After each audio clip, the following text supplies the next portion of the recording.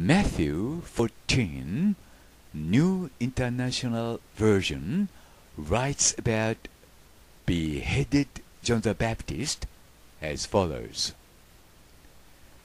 At that time, Herod the Tetrarch heard the report about Jesus, and he said to his attendants, This is John the Baptist. He has risen from the dead. That is why miraculous powers are at work in him. That should be it, because John the Baptist was originally not beheaded again. That should be it, because John the Baptist was originally not beheaded. マタイによる福音書第14章には次のようにあります。その頃、領主ヘロデはイエスの噂を聞いて家来に言った。あれはバプティスマのヨハネだ。死人の中からよみがえったのだ。それであのような力が彼のうちに働いているのだ。それもそのはず。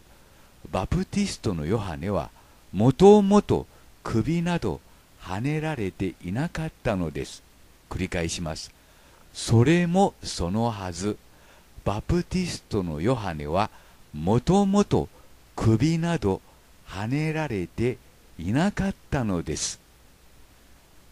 広島林浜松シテ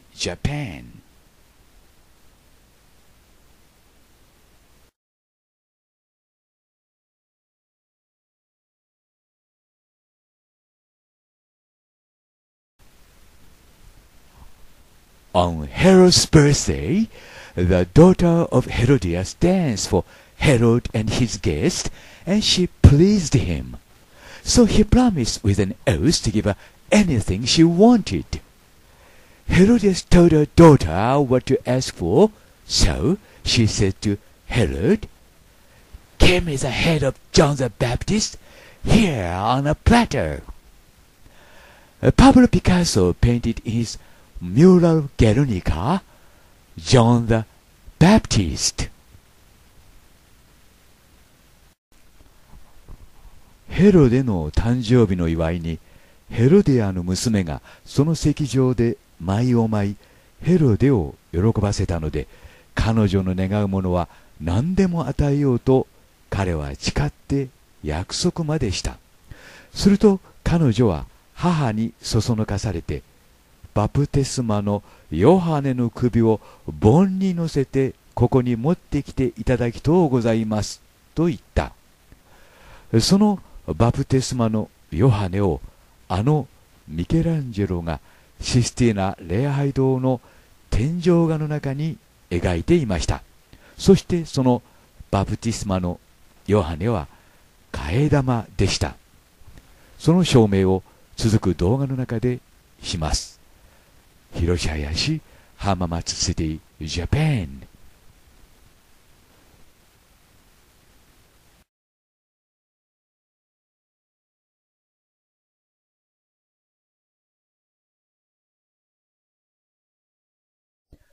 Which way are they walking to? From the left to the right or from the right to the left?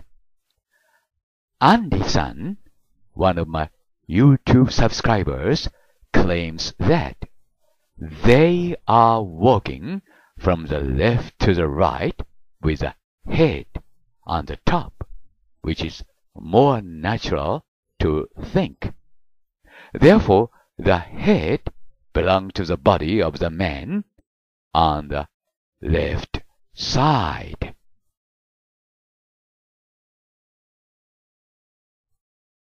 アンリさんという方から2017年2月1日、こんなメールが届いています。林先生、私も絵の首は左側の人物のものだと思います。一つは進行方向に誰かいるかもしれないと用心するので、それを隠すように布を持った女性が様子を見ながら歩いている。突然、後ろから人は来ません。また、普通は後ろ気にしません。二つ目は、重いもの、つまり首を持った人が、わざわざ進行方向に向かって、後ろ向きで歩かない。三つ目は、足の角度。二人とも左方向に向かっているとしたら、足の重心がおかしい。右に向かって歩いていると見るのが自然。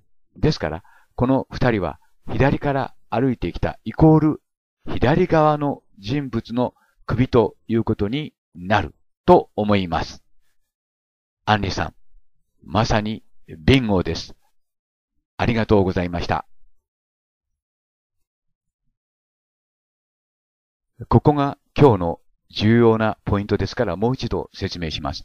右のシスティーナ礼拝堂のこの絵に注意してください。二人の人物が生首を運んでいます。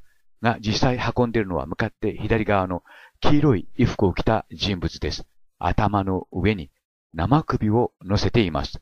で、この黄色い衣服を着た人物はですね、左から右に歩いているのがわかります。右から左ではありません。右から左だと、後ろ向きに歩いていることになります。重い頭を頭の上に乗せてですね、生首を頭の上に乗せて、いわゆる後ろ向きに歩く人はいません。つまり、この人はですね、左から右に向かって歩いている。イコール、上の生首は、この生首は、向かって左側の人物の生首ということがわかります。ビンゴです。つまり、この生首は、一般に言われているように、向かって右側にいる人物の生首ではありません。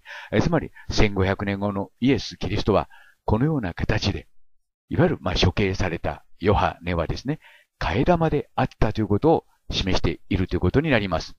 どうも、アンリさん、ありがとうございました。続いて、この生首の謎についての動画をもう一度皆さんにご覧いただきたくつなげておきますので、よろしくご覧ください。では、失礼します。バイ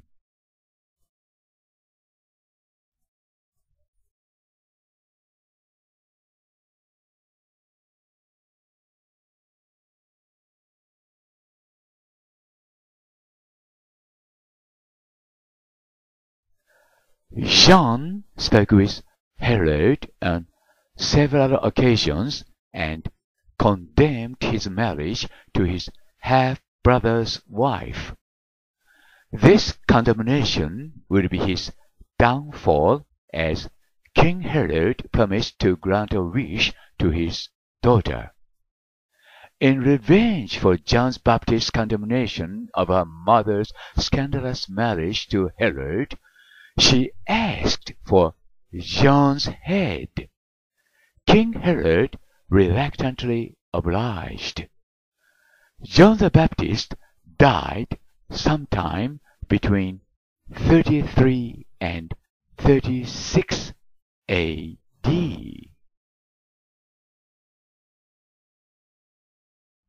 John the Baptist, who was executed, was a proxy. Here is its evidence and proof. 処刑されたバプティスト・ヨハネは替え玉でした。その証拠と証明。広し林浜松シティ、ジャパン。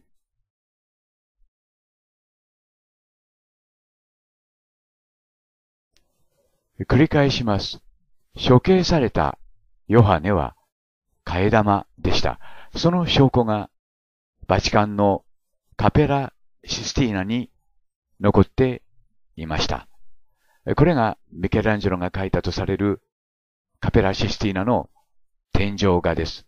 その一角にこのような絵があります。バプティスト・ヨハネについて簡単に説明しておきます。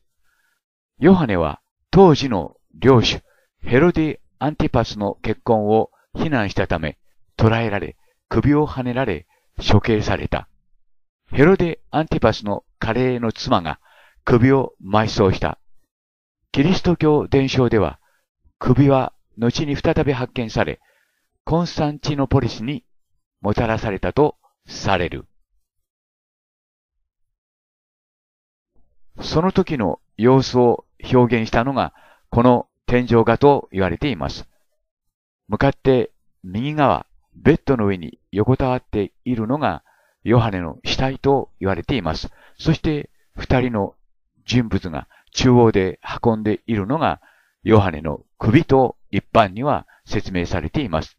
が、この首は向かって右側の人物の首ではありません。向かって左側の人物の首、つまり替え玉の首ということになります。その事実をこの動画の中で説明します。まず、この絵に注目してください。この首に注目してください。が、この首は向かって左側の人物の首です。というと、皆さんは向かって左側の人物には首があるではないかと思われるかもしれません。しかし、これは首ではありません。注意深くご覧ください。この上の人物の生首は向かって右側の人物の首なのでしょうかそれとも向かって左側の人物の首なのでしょうか向かって左側の人物のこの頭と思われる部分に注意してください。注意深くご覧ください。耳のようなものが表現されています。ですから、一見すると、この人物には頭があるように見えます。が、これは耳ではありません。もう一度、この生首を見てください。そして、右下の人物の体を見てください。そして、向かって左側の人物です。首のところに注意してください。首が異様に細いのがわかります。これは穴です。穴開きドルメンを中から内側から見た時の様子を表したものです。この黄色い丸は、つまり穴開きドルメンの内側から見た穴ということになります。注意深くご覧ください。右が穴開きドルメンをですね、内側から見た写真です。首が異様に細い点に注意してください。つまり、これは、まあ、騙し絵、隠し絵ということになります。by 林博士発見です。注意深くご覧ください。黄色い丸で囲んだところは、穴開きドルメンの穴。そしてこれは何かと言いますと、指なんですね。穴の向こうに見える指ということになります。右は私の指でした。で、この穴を塞いでみますと、左の人物には首がないことが、頭がないことがわかります。つまり、二人の中央の人物が運んでいる生首は、向かって左側の人物の生首ということになります。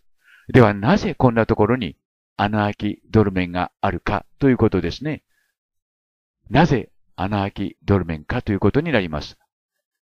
左のこの頭のように見える丸い部分は、穴開きドルメンを、穴開きドルメンの内側から見た様子ということになります。つまり、穴だということです。穴だということです。ここに注意してください。ではなぜこんなところに穴開きドルメンの穴が描かれているかということです。その、それはですね、この絵をもう一度注意深くご覧いただくとわかります。この赤い枠で囲った下の部分を見てください。ここには穴開きドルメンが描かれています。右はベロキオとレオナルドの合作と言われているキリストの洗礼の中に描かれている穴開きドルメンです。全く同じです。元々の作者が同じですから、同じに書かれていてもおかしくありません。ミケランジェロもレオナルドもベロッキオも1500年後のキリストの操り人形芸術家でした。ミケランジェロもベロッキョもレオナルドも1500年後の操り人形芸術家でした。1500年後のイエス・キリストの操り人形芸術家でした。ですから同じになっていたとしてもおかしくないわけです。比較してみてください。右の絵の中に描かれているアナーキトルメンと同じものがミケランジェロが描いたとされる天井画のシステーナ礼拝堂のこの絵の中に描かれています。ここに描かれているのは、アナーキドル面を外側から見た図ということになります。注意深く比較してください。ここが重要なポイントです。その上に先ほどの絵が描かれています。では、そのアナーキドル面は何であったかということですね。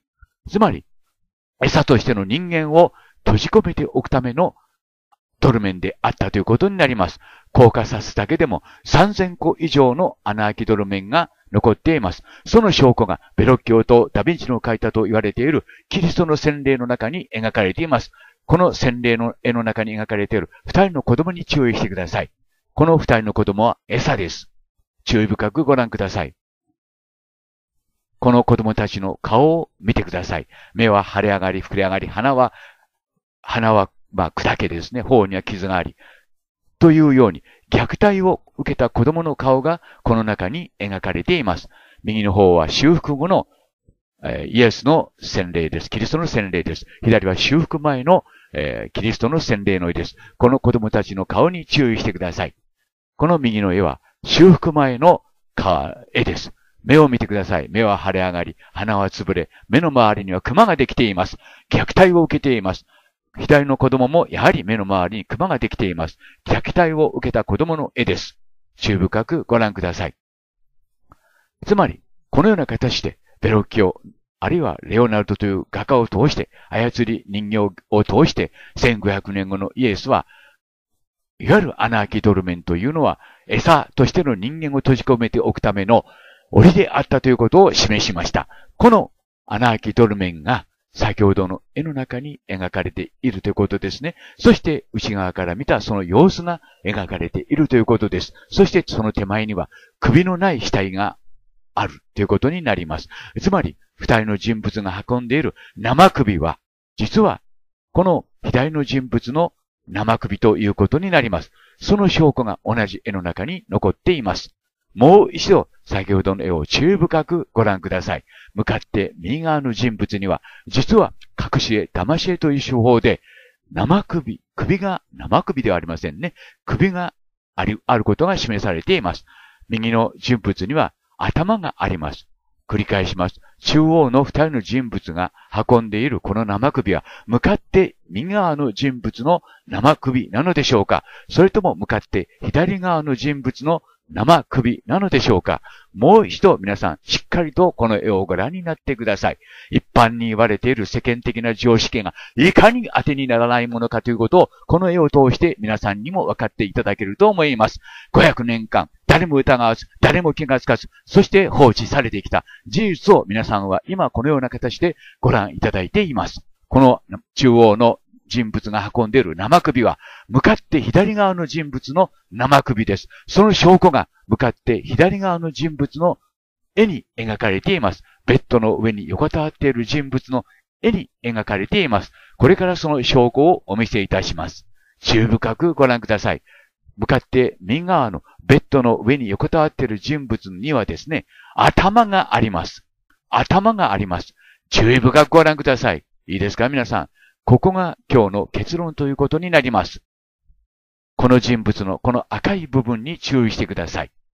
この赤い部分に注意してください。この絵もですね、やはり天井画も修復されていて、現在は大変わかりにくくなっています。この赤い丸に注意してください。ひび割れと一体化しているためにわかりにくくなっています。が、古いと言いますか、修復前の絵では、この部分がこの部分に鼻と鼻の穴が描かれています。修復後は、これは下のひび割れと一体化して分かりにくくなっています。古い方で判断してください。修復前の絵で判断してください。ここに鼻と鼻の穴が描かれています。まあ、この絵、天井画にはですね、無数のこうした騙し絵、隠し絵が仕込まれています。これもその中の一つということになります。皆さん注意深くご覧ください。ここに描かれているのは鼻と鼻の穴です。つまり、向かって右側の人物には頭があったのです。つまり、中央の人物二人が運んでいる生首は、向かって左側の穴開きドルメンの内側に置かれた人物の頭ということになります。これが結論です。このような形で、この体の向こうには頭があるということになります。繰り返します。ここに描かれているのは、花と花の穴です。いいですか皆さん。500年間、私たちは学者たちに騙されてきたということになるんですよ。誰も気がつかなかったんですよ。その事実を今皆さんはこうしてご覧いただいています。これが事実です。つまり、処刑されたヨハネは、替え玉のヨハネであったという証拠を1500年後のイエス、キリストがこのような形で神聖な礼拝堂の天井画として残したのです。皆さん、これが事実です。もう一度確認してください。中央で運んでいるこの人物、二人の人物が運んでいるのは、向かって左側の人物、すなわち、替え玉の人物の生首ということになります。処刑されたのは、ヨハネ、バプティストのヨハネではなくて、替え玉の人物の生首、首ということに、ということになります。以上です。Bye for now.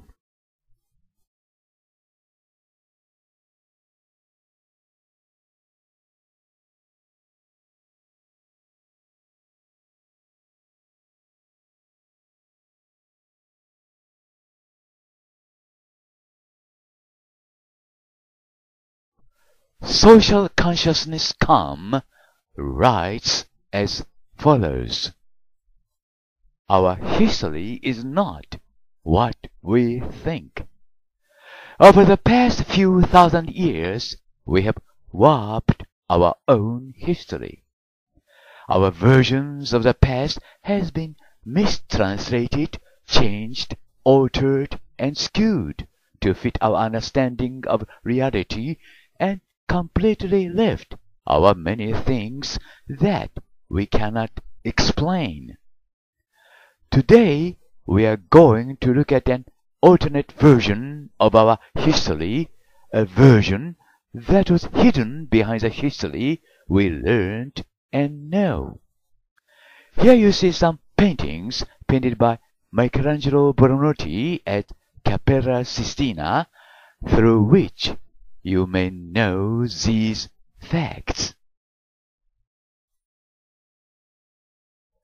私たちの歴史は歴史家たちの都合の良いようにねじ曲げられ、歪められ、改変されてきました。結果として現在私たちが知っている歴史になりました。今ご覧いただいているのがミケランジェロが描いたとされるシスティーナ礼拝堂の天井画です。いろいろもっともらしい説明がなされていますが、そうした説明がいかに的外れなものであるかは、こうした絵画を見ていただければわかるはずです。つまり、私たち人間は、こうした絵画の向こうに隠されている、まさに私たちが神々と呼ぶエイリアンの歴史を何も知らない。知らないまま表面的な歴史を見て、それが人間の歴史と思い込んでいるだけということになります。それともあなたはこうした絵画を見て、私はこうした事実を知っていたということができますか？が残念なことに、こうした事実に最初に気がついたのは、私の友人の森本聡さんです。今から4年前の2012年のことです。それまで、えつまり、それまでのこの500年間、誰も気づかなかったのです。歴史家も、美術評論家も、そして皆さんもです。男を絶世の美女だと評論してみたり、隠し絵、騙し絵にも気づかず、素晴らしい絵と評論してみたりしています。つまりその気づかなかったという部分に冒頭で言いましたように、ねじ曲げられ、歪められ、改変された私たちの歴史があるのです。そこで大切なことは、まずこうした事実に気づき、それを認め、受け入れることではないでしょうか。その上で、なぜ、どうしてを繰り返しながら、その中から推論を引き出し、仮説を立て、証明し、さらには理論へと組み立てていくことではないでしょうか。いいですか皆さん。今、皆さんにご覧いただいているのは事実なんですよ。事実です。そこにある事実です。そうした事実を見ながら、林博士の思い過ごしであるとか、あるいは林博士の頭はおかしいとか、どうか考えないでくださいよ。大切なことは、皆さん自身が自分の目で見て、自分で考え、自分で判断することです。そういった意味では、既存の歴史家たちの意見は全く当てになりません。彼らは嘘こそ言いませんが、本当のことも言いません。自分たちにとって都合の悪いことは皆覆い隠しています。でないというのなら、もう一度、神聖な礼拝堂のこれらの絵画を見直してみてください。中には、身の毛もよだつような、ゾッとする絵画もあります。そうした絵画を見ながら、あなたはそれでも、カトリックの教義を具現化した素晴らしい絵画である、と言いますか？言い続けて良いのでしょうか？回りくどい言い方をやめます。レオナルド・ダ・ヴィンチにしても、ミケランジェロにしても、1500年後のイエス・キリストの操り人形芸術家でした。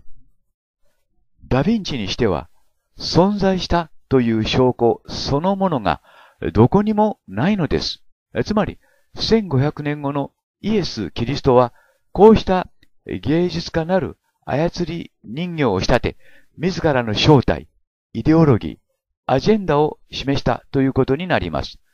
言うまでもなく、私たち人間に対してです。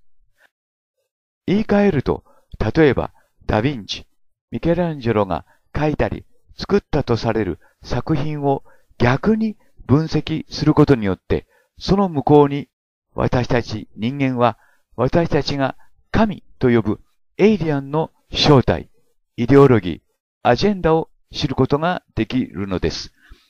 いいですか皆さん。この地球に住んでいる知的生命体は人間だけではないのですよ。人間だけと思ってはいけません。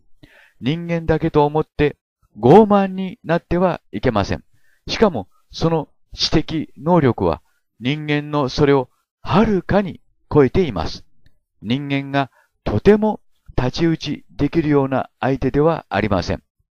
そのとても太刀打ちできるような相手でない知的生命体がそれぞれの時代にそれぞれに姿を変え、私たち人間に接してきているのです。その事実に私たち人間がまず謙虚になる。わかりやすく言えば、そこにいる神という存在に謙虚になるということです。言うなれば、人間はボロボロの不完全極まりない生物です。まずそれに気づき、それを認め、次に謙虚になる。謙虚になって教えを請う。その相手が、ここで言う私たちが神と呼ぶ知的生命体、つまりエイリアンということになります。繰り返します。決して傲慢になってはいけません。いわんや人間こそが唯一の知的生命体と思ってはいけません。完成された生命体と思ってはいけません。私たち人間は未熟で未完成でボロボロの生命体だということです。それを認め、その上で教えを請う。つまり、私たち人間には知らないことがそこに山のようにあるのです。知らないことだらけです。その一例が今皆さんにご覧いただいているシスティーナ礼拝堂の天井画ということになります。それとも、あなたはこうした絵画に表現されている事実を知っていたというのでしょうかいいですかこの500年間、誰も気がつかなかったのですよ。誰も疑問に思わなかったのですよ。まずそうした事実に謙虚になることではないでしょうか。私たち人間は何も知らないのだとです。そういう意味では、ダヴィンチ、ミケランジェロの残した作品には学ぶべきものが多いと私、林博士は判断しています。なお、最後になりますが、だからといって心配しないでくださいよ。私がここで言う神は優しいですよ。今の、今も信じられないくらい私たちのそばにいて、私たち人間を温かく見守っていますよ。でないというのなら、私たち人間はとっくの昔に滅ぼされていた。つまり、絶滅させられていたということになります。ただ、一言。私、林博士の立場で言うなら、どうか、こうした事実を宗教と絡めて考えないでくださいね。神とか、キリストとかいう言葉を並べると、人間の皆さんはすぐ宗教、あるいは信仰宗教と絡めて考えるかもしれません。林博士が説いているのは宗教だとです。が、私が皆さんに求めているのは、信ずるとか、信じないとかいうような話ではありません。スピリチュアル、つまり、霊的なものではなく、繰り返しますが、そこにある事実を認め、受け入れ、自分で考え、自分で判断し、自分で理論を組み立てていくということです。そこが重要です。その結果として、あなたが私と同じように、その向こうで神を認め、エイリアンを認め、1500年後のキリストを認めるなら、それはそれであなたの判断ということになるのではないでしょうか。その第一歩として、今、皆さんにこうしてシスティーナ礼拝堂の天井画をご覧いただいています。広し林、浜松シティ、ジャパン。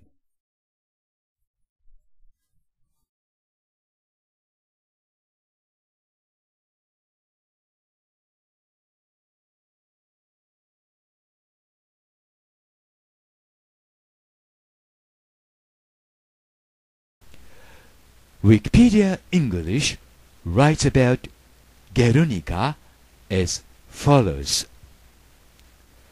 The painting was created in response to the bombing of Guernica, a Basque country village in northern Spain, by Nazi Germany and fascist Italian warplanes at the request of the Spanish nationalists.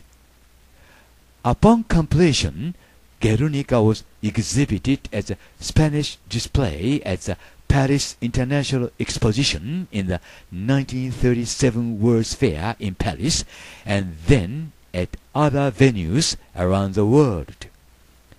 The touring exhibition was used to raise funds for Spanish war relief.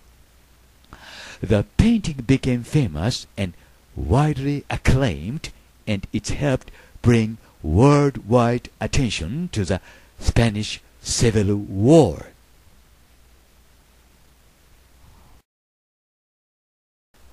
パブロ・ピカソの代表作でもあり、最もよく知られた作品がゲルニカです。ゲルニカというのは、ナシス・ドイツ、イタリア及びスペインの国粋主義者たちに爆撃され破壊されたスペイン北部のバスクの田舎の村の名前です。その爆撃を題材にして繰り返します。その爆撃を題材にして描かれたのがそのゲルニカと呼ばれる絵ですが、その絵は1937年にパリで開かれた万博会場並びに世界中で公開され、それによってスペイン内戦は広く知られることになり同時に世界中から救済資金が集まったと言われています。があのゲルニカは本当に爆撃されたゲルニカをテーマにして描かれた絵なのでしょうか。もしそうならピカソ自身もそれが何の絵であるか知らなかったということになります。繰り返します。もしそうならピカソ自身もそれが何の絵であるか知らなかったということになります。つまり何の絵であるか知らないまま絵を描かされゲルニカとして発表してしまった可能性があるということです。というのもその絵の中には私林博が発見し林博しか知らない事実がその絵の中に隠し込まれていたからです。つまりピカソも1950年後のイエス自身であった可能性がぐんと高くなりました。その証拠と証明。広し林浜松シティジャパン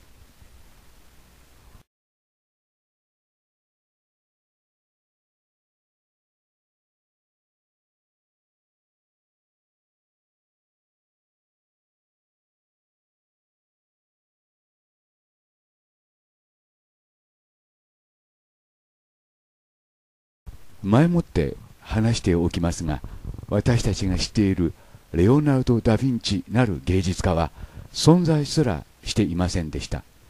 ルカ・シヌレリの顔に大きな鼻とひげをくっつけたのがレオナルド・ダ・ヴィンチということになります。つまりレオナルド・ダ・ヴィンチとルカ・シヌレリは一人二役の芸術家であったということになります。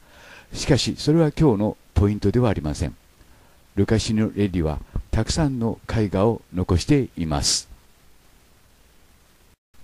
そのルカ・シヌ・レディの描いた絵の中にこのような老人が時々現れます。この老人は誰かということですね。で私はこの老人は1500年後のイエス・キリストの自画像といいますか実像であると判断しました。ミラノのセムシ男とも呼ばれていました。ミケランジェロの代表作であるピエタ像もこの人物が彫刻したものと私林博は判断しています。ミケランジェロ自身は彫刻をしていませんでした。ともかくもここに描かれている老人は誰かということになりますが一応セント・ジェロームということになります。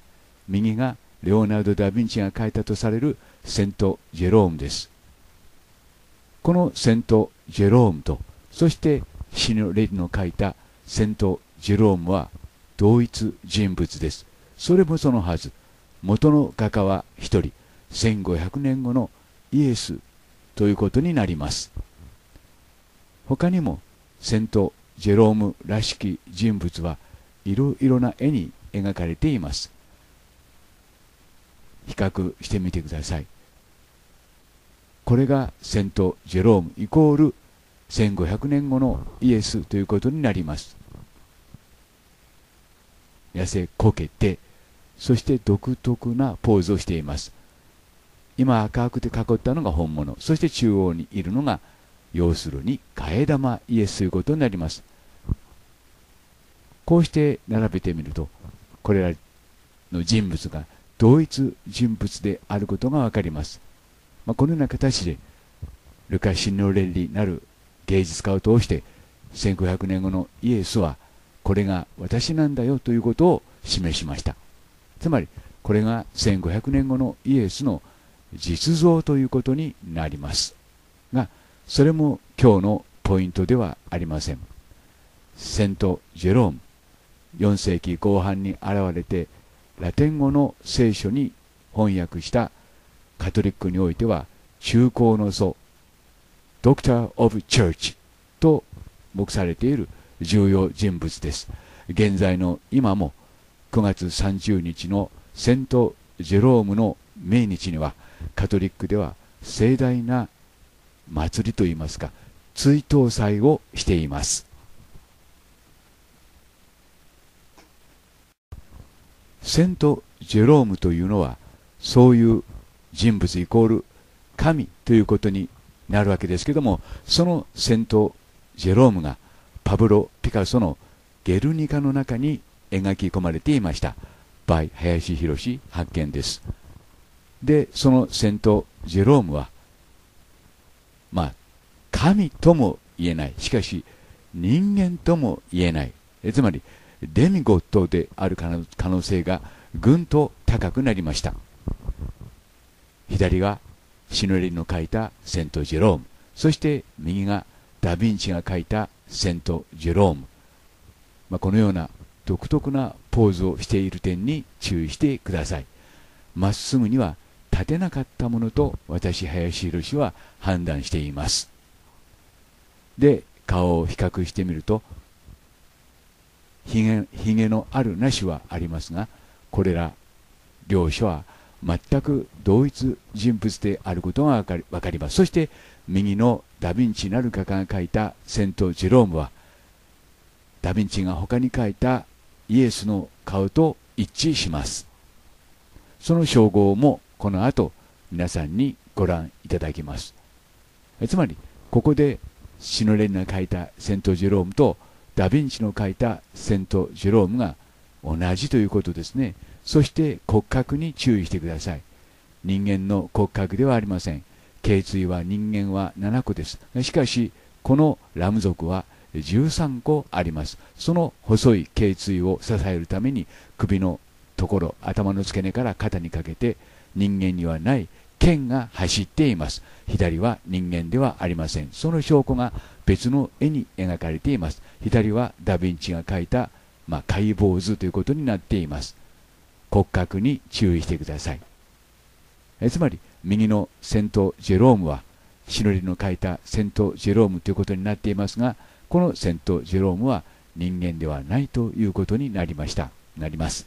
モーフィングしていました。そしてその証拠が解剖図の中に描かれています。同じ人物ですね。でこの人物の目に注意してください。右の解剖図も一応レオナルド・ダ・ヴィンチなる画家が描いたとされる解剖図です。この目瞳に注意してください。向かって左の目は瞳が崩れているように見えますが向かって右の目に注意してください。同じ表現でミケランジェロが失礼なの礼拝堂の天井画にその目を表現しています。この目に注意してください。左右反転してみます。目に注意してください。目に注意してください。縦線一本だけの目で瞳であることに注意してください。つまりこのような形でダ・ヴィンチもそしてミケランジェロもここに描かれているのは人間ではない。つまりデミゴット半身半人であることを示しています。もう一度この解剖図を見てください、まあ、この顔とそしてまあ、右のミケランジェロの描いた顔を比較してみてください。そしてその顔は先ほどのセント・ジェロームの顔と一致していきます。骨格も一致していきます。つまりセント・ジェロームは少なくとも人間ではなかったということになります。縦線1本だけの瞳に注意してください。で結論ということになりますがそのセント・ジェロームがパブロ・ピカソの描いたゲルニカの絵の中に描き込んであったというわけです。となると、このゲルニカの中には3人のイエスがいるということになります。それについてはまたの機会に述べるとして、で、結論をもう一度ここで確認しておきたいと思います。パブロ・ピカソの描いたゲルニカです。この絵の中には下の方に処刑で殺されるイエスそして右下にセント・ジェロームが描かれています。この赤い丸で囲んだのが処刑される替え玉のイエスです。馬に踏みつけられています。そして両手を広げて向かって左側の手には聖痕が描かれています。上は、えー、レオナルド・ダ・ヴィンチになる画家画家が描いたとされるアンヤリの戦いの絵ですややはり馬に踏みつけられて頭から血を出しているイエスが描かれています血のように見せかけていますが独特のいわゆるまあ、隠し絵、騙し絵ということになります。これは降臨を表したものです。by サトシ森本です。そしてこの手の甲に注意してください。この手の手の甲には聖痕が描かれています。つまりこれが処刑されたイエス・キリストということになります。手に聖痕がある点に注意してください。そのイエスをですね、えー、パブロ・ピカソがゲルニカの中に描き込んでいます。なおこの、こうした事実を発見したのは私、林博です。つまり、パブロ・ピカソには知る由もなかったということです。ということになりますと、パブロ・ピカソもその意味も分からずこの絵を描いたということになります。これが処刑されたイエスです。そしてもう一人、右下に、えー、セント・ジェロームが描かれています。セント・ジェロームです。独特なポーズをしている点に注意してください。そのポーズと先ほどお見せしました、えー、セント・ジェロームの絵とのポーズを比較してみてください。反転してみました。左は、えー、ダヴィンチなる画家が描いたとされるセント・ジェロームです。同じポーズをしている点に注意してください。片方の足を立ててですね、そして一方の足を後ろの方に後方に伸ばしています。左がセント・ジェロームですから、右もセント・ジェロームです。 by 林博発見です。で、このような形で、えー、ピカソはセントジェロームを絵の中に書き込みました。この人物こそがですね、もう一人のイエス・キリストということになりますが、ゲルニカにはもう一人のイエス・キリストが描かれています。それについてはこの続く動画の中で説明しますが、中央で、えー、統治を持っているイエス・キリストがいます。ということは、この絵の中には3人のイエス・キリストがいるということになります。イエス・キリスト3人説 by 林博ということになりますが、それについては今後さらに検証を重ねていきたいと思います。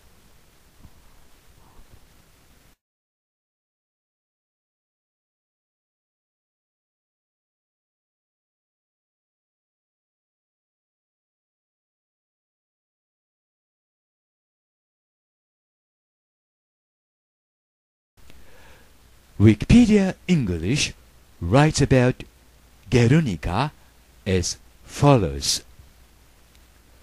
The painting was created in response to the bombing of Guernica, a Basque country village in northern Spain, by Nazi Germany and fascist Italian warplanes at the request of the Spanish nationalists. Upon completion, Guernica was exhibited as a Spanish display at the Paris International Exposition in the 1937 World's Fair in Paris and then at other venues around the world. The touring exhibition was used to raise funds for Spanish war relief. The painting became famous and widely acclaimed and it helped bring worldwide attention to the Spanish Civil War.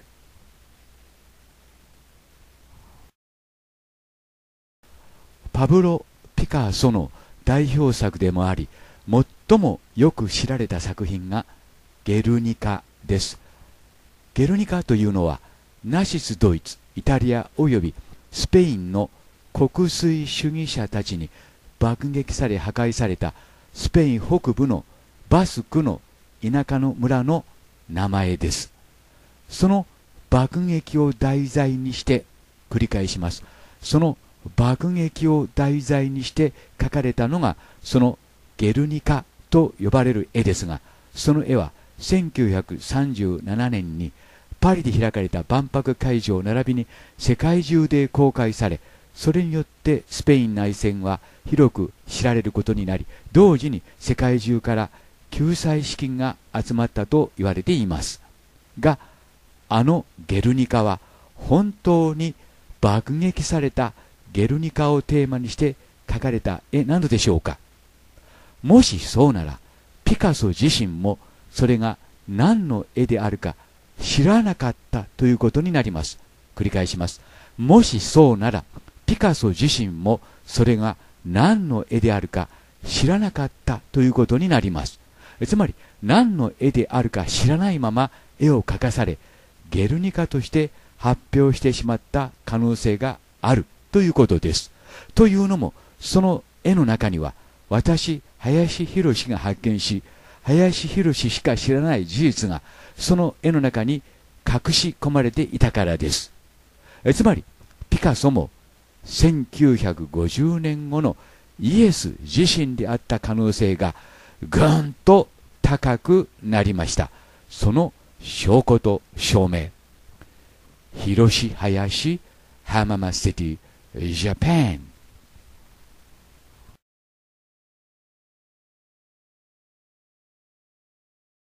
ある著名な美術評論家は次のように書いています。白黒で表現された一面モノクロームのキャンバスには人間のような目を持った闘牛の頭。その下には空爆の犠牲となった子供を抱えて泣き叫ぶ母親。狂ったように叫ぶ馬。天を仰ぎ救いを求める者など。逃げ惑い苦しみ叫ぶ人々や動物の様子が描かれている。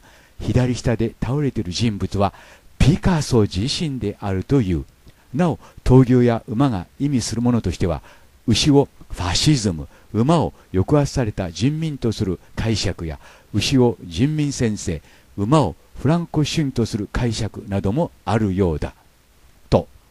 が本当にそうでしょうか？順に解説してみます。では林博方式でこの絵を検証してみます。まず気がつくのは中央上やや左寄りにある奇妙なこの模様です。これは何かということですけども私はこれを目と判断しました。目の下から14本の光線が出ている点に注意してください。右はフリーメイソンのシンボルマークです。でこの目のような模様の下からも14本の光線が出ているのが分かります。14つまり 7×2 7はフリーメイソンの神聖数です。ミトラ教の神聖数です。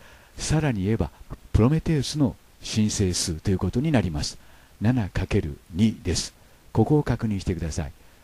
ラーの腕もやはり7本です。それから自由のまあ、女神像と言われている像ですけども光線が7本です。このように777でつながっていきます。ついでですが14という数にはもう一つ別の意味があります。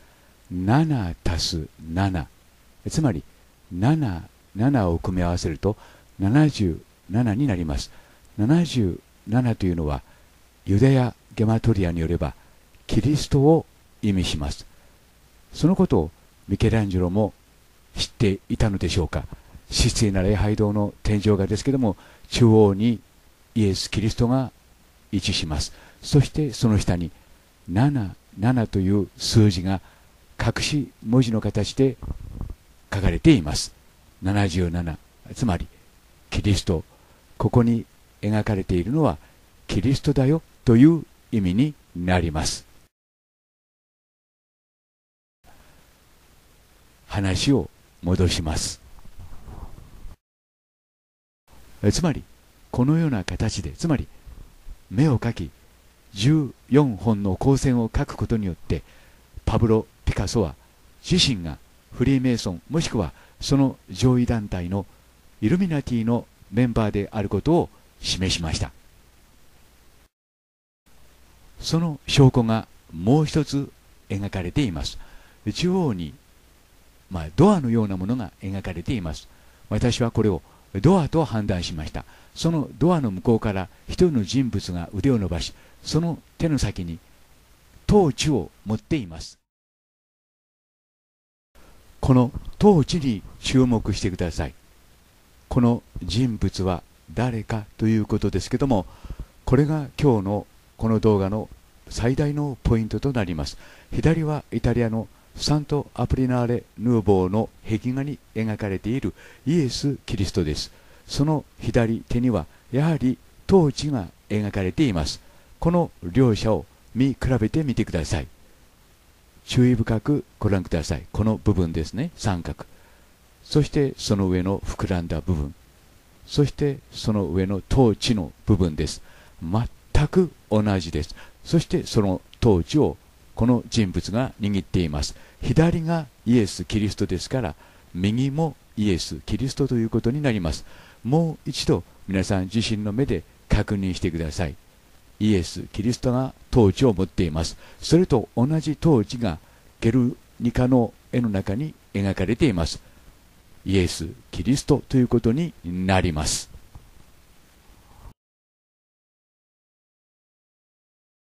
では左下の人物は誰なのでしょうか？どこかの美術評論家が言っているようにピカソ自身なのでしょうか？答えはノーです。中央に馬が描かれています。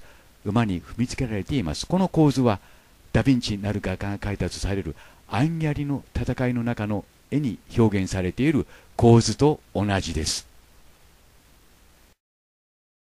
アンギャリの戦いの中に描かれている右の丸の中の人物はイエス・キリスト自身です。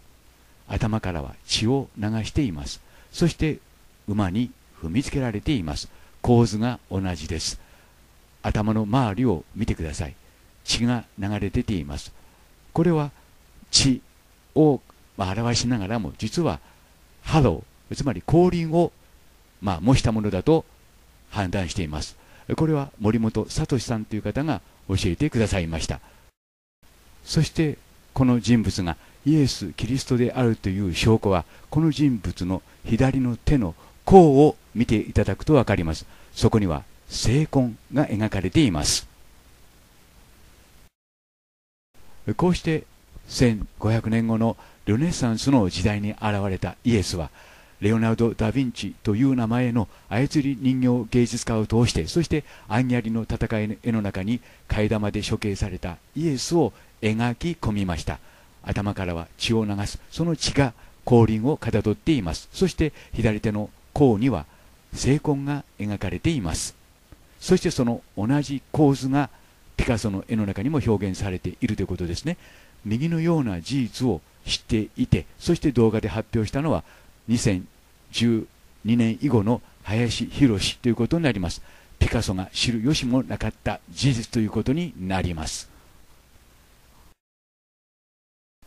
左下のピカソの絵の中に描かれている人物がピカソなどではなくてイエス自身だということはその絵の中にその証拠が残っています。この人物の手のひらを見てください。ここには五芒星が描かれています。つまりこのような形で精魂を五芒星に隠してピカソはピカソが描き込んだということになります。分かりやすく言えばシンボライズされた聖魂ということになります。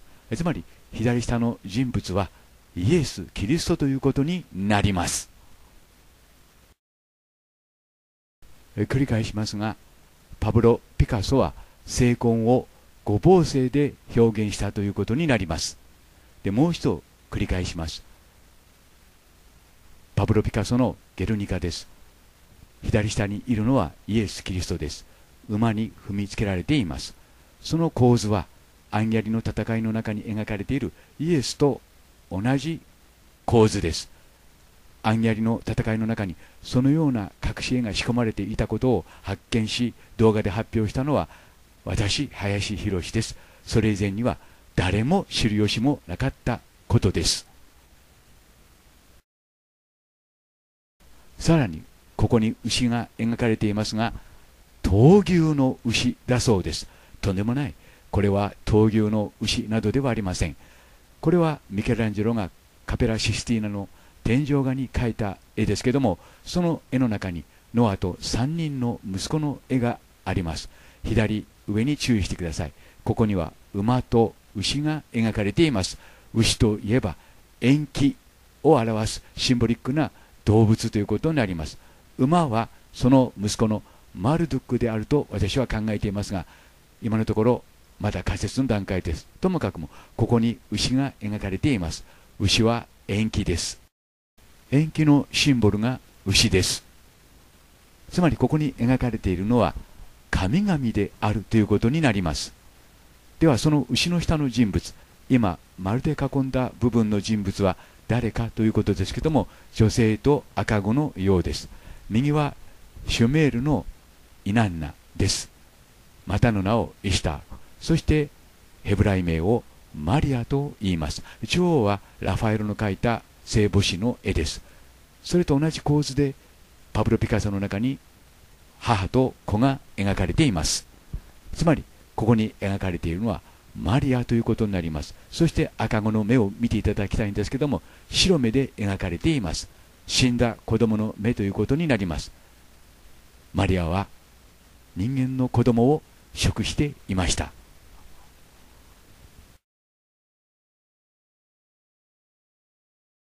では右下の人物は誰なのでしょうか。丸をつけてみます。色をつけてみます。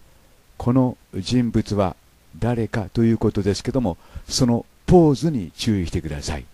言うまでもなくセント・ジェロームです。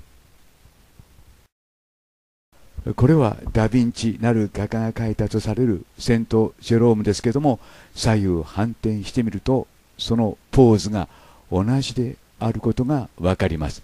つまりこのような形でピカソはゲルニカの絵の中にセント・ジェロームを描き込んだということになります。皆さん自身でご確認ください。ついでですが一人二役のもう一人の画家ルカ・シノレッリもセント・ジェロームをこのように描いています。同じポーズです。つまり右下に描かれているこの人物はセント・ジェロームということになります。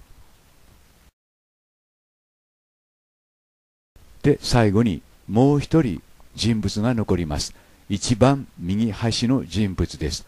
この人物は誰かということですけども奇妙な壺のようなものの中に入っているのが分かります。そして小さな窓が描かれています。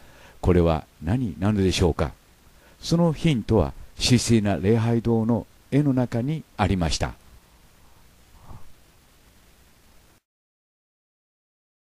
バプティストのヨハネが首を切られた時の様子を表した絵であると私林博は判断しています。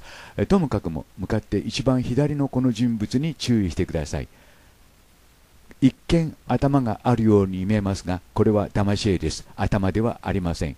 つまり穴です。そしてこの人物は壺の中に入れられています。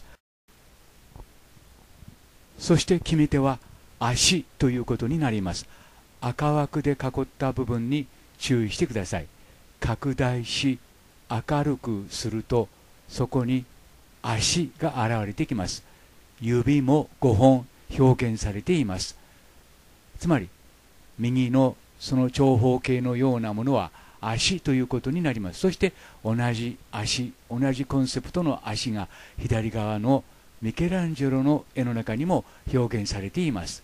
この両者を比較してみてください。ミケランジェロの描いた絵の中の丸い窓に注意してください。そしてゲルニカの絵の中ではそれが四角い窓として表現されています。そして三角の壺の中に入っている様が分かります。つまりこの人物は替え玉のバプティストのヨハネということになります。ヨハネはこのような形で処刑されました。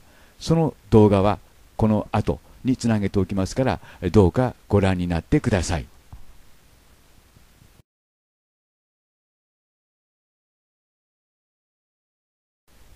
で結論ということになります。パブロ・ピカソは戦場となったゲルニカを描いたものだと言われていますが本当にそうでしょうか。もう一度皆さん自身の目でこのゲルニカを見てください。そして皆さん自身で判断してください。一番左にいるのはマリアです。子供を抱いているマリアです。そしてその上にいる牛は延期つまりプロメテウスを表したものです。次にこの下の人物は替え玉イエス処刑となった替え玉イエスを表したものです。上の目のような形はこれは言うまでもなくプロメテウスの目またの名を摂理の目と言います。そしてここに描かれているのはイエス・キリスト自身です。その統治シンボリックな統治を持っています。サンタ・アポリナレ・ヌーボーの統治と一致します。そしてその下にいるのがセント・ジェロームです。カトリック最大の功労者ということになっていてそしてその右にいるのが処刑されたヨハネもしくはヨハネの替え玉ということになります。つまりキリスト教の世界がオールキャストでこのように描かれています。つまり戦場となったゲルニカの様子を描いたものではなくて神々の世界を描いた絵ということになります。そしてこの絵の中には私林博が発見した事実ばかりが描かれています。言い換えるとパブロ・ピカソもこの絵が何を意味するか知らなかったのではないかということになります。つまりパブロ・ピカソ自身がこの絵を1900年後のイエスによって描き与えられたということになるのではないでしょうか。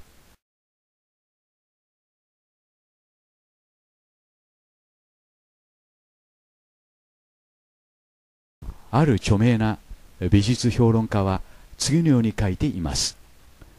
白黒で表現された一面モノクロームのキャンバスには人間のような目を持った闘牛の頭その下には空爆の犠牲となった子供を抱えて泣き叫ぶ母親狂ったように叫ぶ馬天を仰ぎ救いを求める者など逃げ惑い苦しみ叫ぶ人々や動物の様子が描かれている。左下で倒れている人物はピカソ自身であるという。なお闘牛や馬が意味するものとしては牛をファシズム馬を抑圧された人民とする解釈や牛を人民先生馬をフランコ主義とする解釈などもあるようだと。私林博はノーコメントです。Bye for now.